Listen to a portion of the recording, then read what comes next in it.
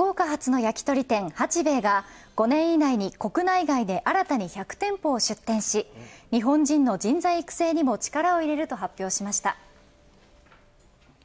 福岡を中心に13店舗を構える焼き鳥の八兵衛は先月全国チェーン鳥貴族の運営会社と協業に向けた基本合意を交わしています。今日両社はアジアなど国内外で5年以内に100店舗の出店を発表。鳥貴族側が物件取得や求人などの面で協力し八兵衛の店名で出店するということです。絶対海外に行くぞと思って2号店あたりから確実に海外を意識した店作りをしてて。一方で焼き鳥の分野では海外での技術が進んでいるとして日本人の人材育成のためのアカデミーを開講するとしました